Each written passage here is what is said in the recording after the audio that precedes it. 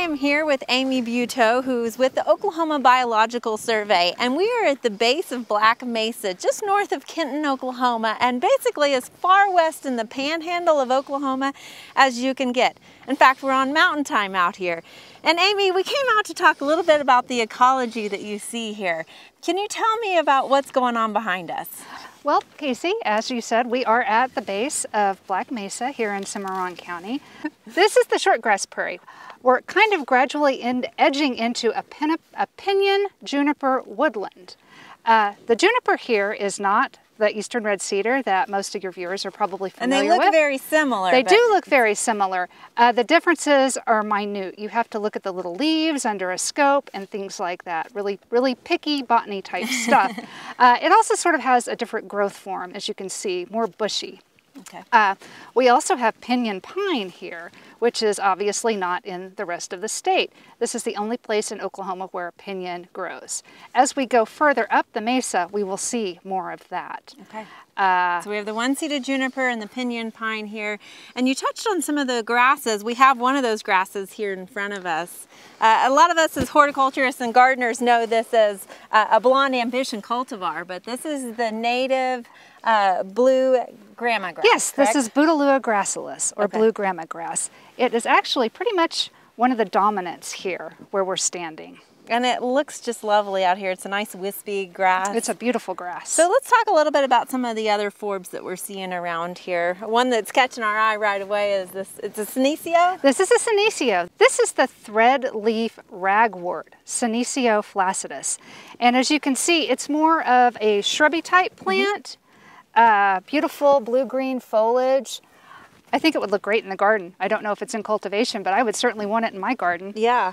And in fact, there's some other composite uh, plants that we're seeing around here. There's a couple of daisies, and I think I even saw the chocolate daisy. Is that correct? It is. It is. This is Berlandiera lyrata, or uh, another name, name for it is lyre leaf green eyes. So remember it kind of has this sort of look after the petals fall off. It right? is. It is. Yeah, that's exactly why. Uh, it does smell like chocolate, as you mentioned it, specifically the center part right here when it's fresh. It has just this odd chocolate-like aroma.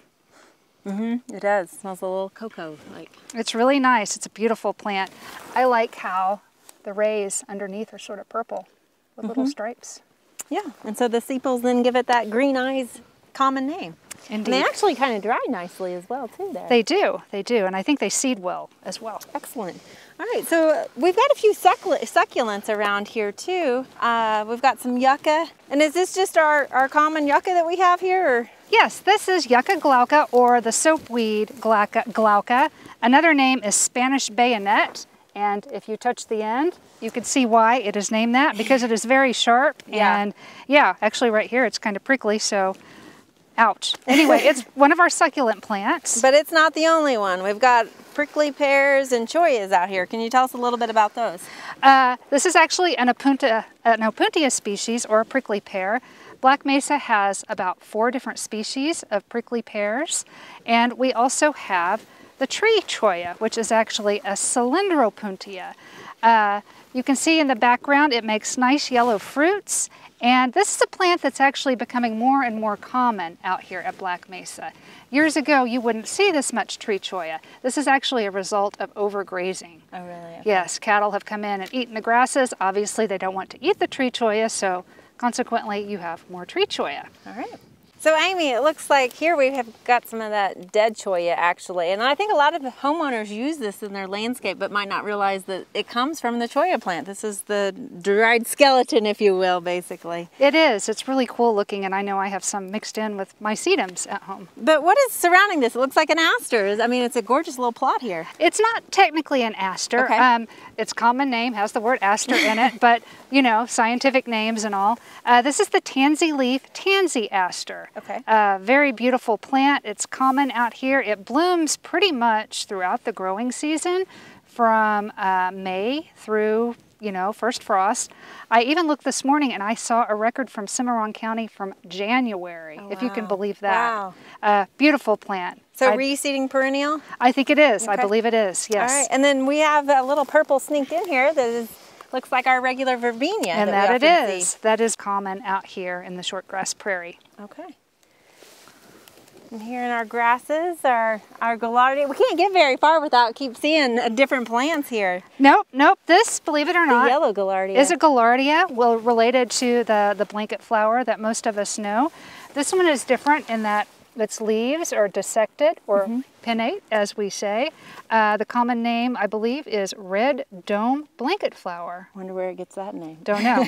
Beautiful plant. All right, and we've seen a few other plants along the way. There was a sand lily. Tell us a little bit about that plant. The it's got a beautiful white flower. It is. Uh, I didn't realize it, but I guess that flower opens up in the afternoon. We drove through uh, to Kenton and saw fields and fields of it. Absolutely gorgeous. It has a lot of a lot of stamens, so it gives this kind of lacy look. Uh, it's got really sticky leaves and. You know, they'll stick to your clothes, they'll go through the wash, you can't get rid of them. But it's a beautiful plant. but not sticky in the fact like a, a like a succulent that might stab you or something. no. A cactus. More, more like a Velcro that Gotcha. will never go away. Right, and then the zinnia that The- we saw. The zinnia, we actually have a native zinnia here in Oklahoma. It is the Rocky Mountain zinnia. It forms these beautiful golden mounds. Uh, it's a plant that I believe would probably work really well in a rock garden. Very short profile. Very Yeah. short, very kind of prostrate plant, um, beautiful. Excellent.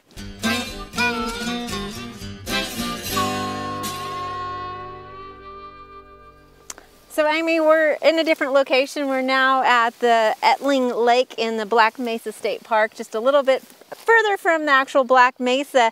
And so being in a more wet condition, we're finding a few different plants here. Yes, yes. This pretty guy is the copper globe mallow. It's actually in the same family as hibiscus. Uh-huh. And if you look closely at the flower, that is quite evident. Oh yeah, definitely has a mallow-like flower to it. This is a beautiful plant, and I wish I had it in my garden. I love the color of it. Yeah, it's a nice color here. It's a really unique color for a flower, right. I would think. I normally don't see that. so, and it looks like pollinators are enjoying it yes, quite a they bit are. too. They are. So we mentioned the, how important the grasses are to the short grass prairie, but we hear about old world blue stem a lot, and I know we have some of it here. Can you tell us a little bit about old world blue stem versus some of the other grasses we might find around here? Old World Blue Stem, which is this fellow right here, is an exotic invasive grass that is found in Oklahoma. Uh, as we drove into the park, you could see it all along the roadsides. Uh, I believe it was brought in for cattle, and you know, as so many things do, it escaped. You can tell Old World Blue Stem apart from our native silver blue stem by its inflorescence. Old World Blue Stem has these little individual fingers that you could sort of pull apart and see. Little, little wavy fingers. Whereas our silver blue stem, this which is right next me? to you, doesn't have those little fingers. It has little tiny branches, but they're kind of stubby and they just don't really make you think of fingers. And plus, it's really kind of fuzzy and white. Mm-hmm. Again, this is a native species, but it is also found in sort of degraded areas, uh, like pastures and overgrazed sort of places. And, and there's some other plants that we might see around here. You mentioned some buckwheats. Can you tell us about the buckwheats that might, we might find around here? The buckwheats are the genus Eriogonum, which is a really, really large genus as you move towards the west. There are about 250 species. Uh, there are two that are more common in the body of the state that we're used to, but out here you get some really, really neat ones. They're little mat forming plants and they grow up on the rocks. And they're, they're really, really beautiful little plants. They're just unique in their own special way. And I'm not quite sure if anybody grows them for gardens, but I think that they would probably look really nice in a rock garden. Yeah, it, it seems like they can really handle those conditions pretty well. definitely, definitely. Well, Amy, this has just been fantastic. We've enjoyed walking around Well, and exploring the native areas with a, a botanist and, and seeing your hand lens out and looking at some of the plants a little closer. So thank you for sharing this information with us. Well, thank you for having me. I appreciate it. We hope you enjoyed this video. It's part of our Oklahoma Gardening YouTube channel. You can also find even more videos on our OK Gardening Classics YouTube channel. And join us on social media for great gardening tips, photos, and discussion.